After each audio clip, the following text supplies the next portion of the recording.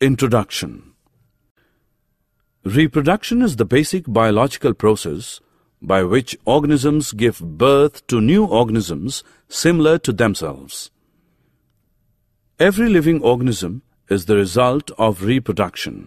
The many known modes of reproduction are generally classified into sexual and asexual reproduction.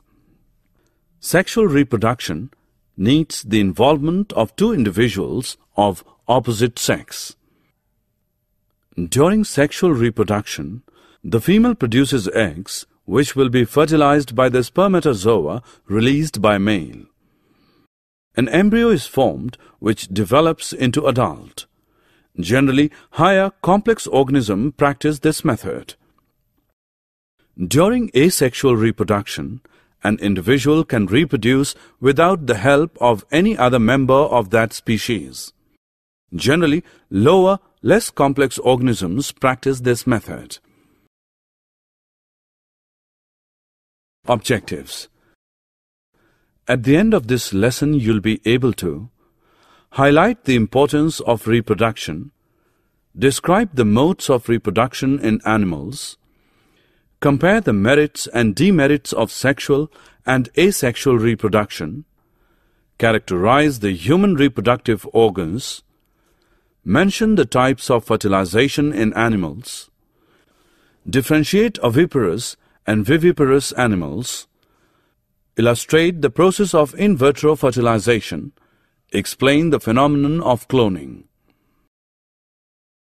Human reproductive system Male In males, the sex organs or genitals are located both inside and outside the pelvis. The male genitals include the testicles or testes, in a boy who has reached sexual maturity, the two testicles or testes produce and store millions of tiny sperm cells.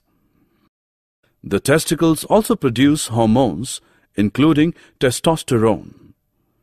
Testosterone is that hormone that causes boys to develop deeper voices, bigger muscles, and body and facial hair, and it also stimulates the production of sperm.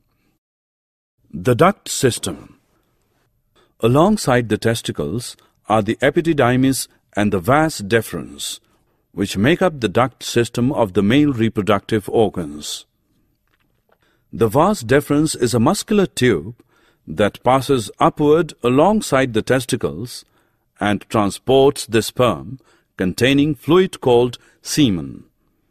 The epididymis is a set of coiled tubes, one for each testicle, that connects to the vas deferens. Scrotum The epididymis and the testicles hang in a pouch-like structure outside the pelvis called the scrotum. This bag of skin helps to regulate the temperature of testicles, which need to be kept cooler than the body temperature to produce sperm.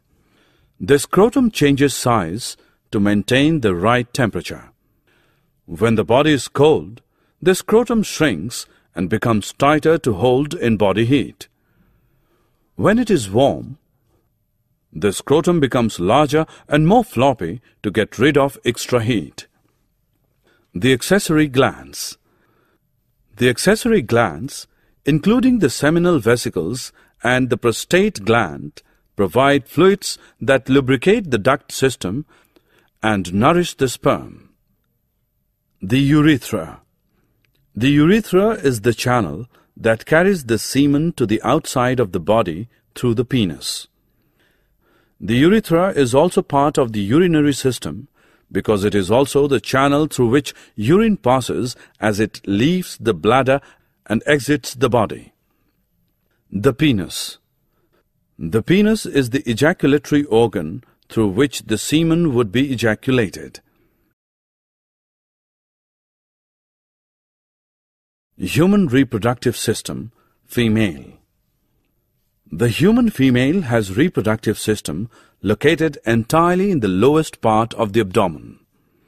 The external part of the female reproductive organs include the vulva, which means covering, the labia, which means lips, are the two pairs of skin flaps that surround the vaginal opening.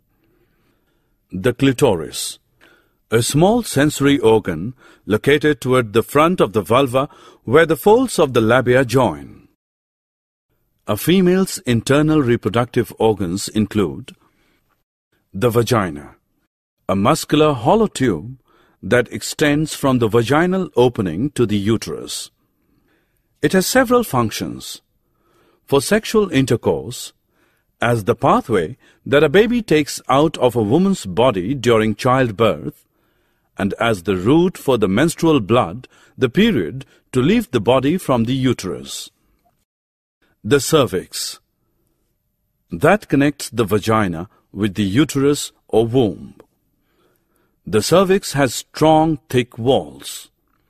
The opening of the cervix is very small. During childbirth, the cervix can expand to allow a baby to pass. The uterus, shaped like an upside-down pear, with a thick lining and muscular walls that contains some of the strongest muscles in the female body. These muscles expand and contract to accommodate a growing fetus and then help push the baby out during labor. The fallopian tubes, two in number, each attached to a side of the uterus. Within each tube is a tiny passageway and at the other end of each tube is a fringed area that looks like a funnel. The ovaries two oval-shaped organs that lie to the upper right and left of the uterus. They produce, store, and release eggs into the fallopian tubes in the process called ovulation.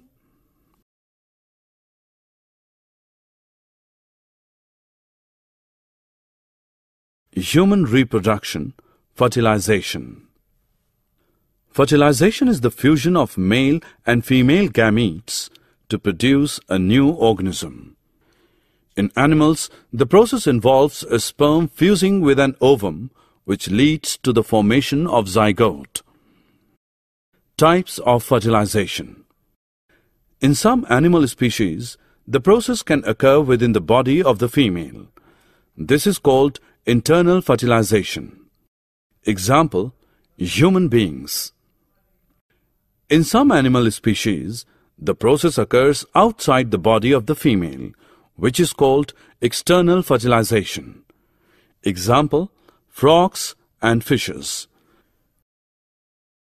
Human reproduction, development of embryo. As a result of fertilization, a zygote is formed. This carries the genetic information of both its parents, the father and the mother. This single-cell zygote starts dividing repeatedly and develops as an embryo. The embryo at an advanced stage is called fetus. In humans, the fetal stage begins about eight weeks after fertilization, when the major structures and organ systems have formed. Viviparous and oviparous animals. Similar to fertilization, development of an embryo may take place outside or inside the body of the parent. Accordingly, they are classified into oviparous and viviparous animals. Viviparous animals are those in which the embryo develops entirely within the mother and not from an egg. Viviparous offspring live independently and require an external food supply from birth. This is the reproductive mode for nearly all mammals many reptiles, and a few fishes. Oviparous animals are egg-laying animals. It means there will be little or no development of embryo within the mother. This is the reproductive way of many animals, including birds, amphibians, most insects, many reptiles, and fish. One of the advantages to giving birth to live young is that the mother protects the fetus inside her body as it develops. The developing fetus derives nutrients from the mother's body and so is assured of receiving all the nourishment it needs to complete development. Development of the newborn. The development of an animal after its birth or emergence from an egg is not the same in all organisms. Accordingly, they are classified into direct and indirect development. Direct development. In some cases, the young one differs from the adult in comparatively minor details, apart from not having functional sex organs. This kind of development is said to be direct. There is no larval stage and no metamorphosis. However, direct development does not mean that no changes occur between birth and adulthood. Human beings are typical examples for this kind of development. Indirect development. In some other cases, the newly hatched ones will not be similar to that of its parents they undergo a rather long route to reach the adult stage. The sequence of stages is called metamorphosis. Amphibians and some insects are typical examples for this kind of development.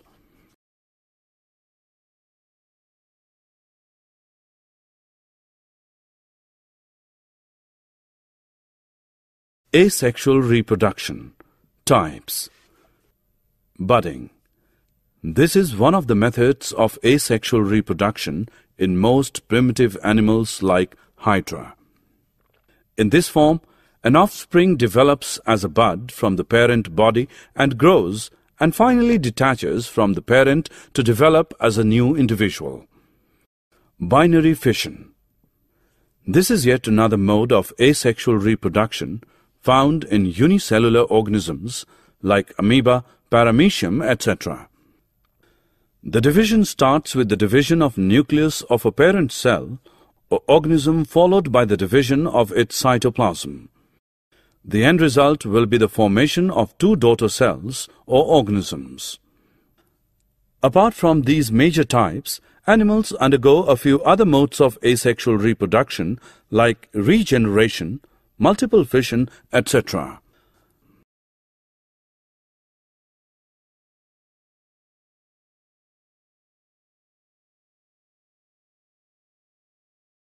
Artificial methods of reproduction. In vitro fertilization. A test tube baby is the term that refers to a child that is conceived outside the woman's body. The process is referred to as in vitro outside the body fertilization. Simply put, eggs are removed from the mother's ovary and incubated with sperm with the father. After fertilization, the pre-embryos are allowed to divide two to four times in a test tube, hence the name, and then return to the mother's uterus where they can develop normally. This procedure is one of many artificial reproductive technologies, ART, that are used when conception has not been otherwise successful due to fertility problems or either the mother or father or both.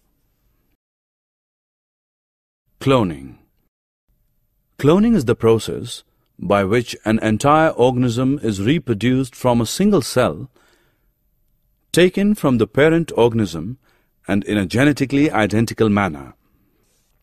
This means the cloned animal is an exact duplicate in every way of its parent. Cloning happens quite frequently in nature. Asexual reproduction in certain organisms and the development of twins from a single fertilized egg are both instances of cloning. With the advancement of biological technology, it is now possible to artificially recreate the process of cloning. The DNA nucleus was extracted from an embryonic cell and implanted into an unfertilized egg from which the existing nucleus had already been removed. The process of fertilization was stimulated by given an electric shock or by some chemical treatment method. The cells that developed from this artificially induced union were then implanted into host mothers. The cloned animal that resulted had a genetic makeup exactly identical to the genetic makeup of the original cell. Since Dolly, of course, it is now possible to create clones from non-embryonic cells.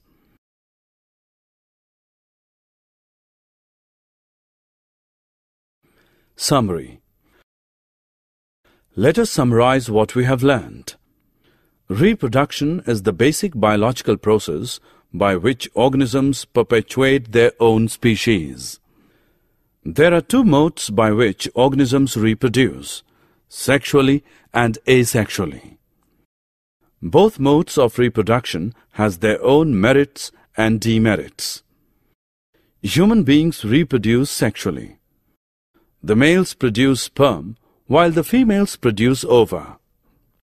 Fertilization is the union of male and female gametes in sexual reproduction. There are two types of fertilization, internal and external. Zygote is the end product of fertilization. It develops into embryo. At an advanced stage, when organs have developed, it is called fetus. Development of embryo may take place either inside or outside the body of the female. Accordingly, the animals are grouped into oviparous and viviparous. Viviparous animals may develop into adults directly or may cross through a few larval stages before becoming adult. Asexual reproduction is commonly found in lower animals. There are several types. Budding, fission, sporulation, regeneration are a few to be mentioned.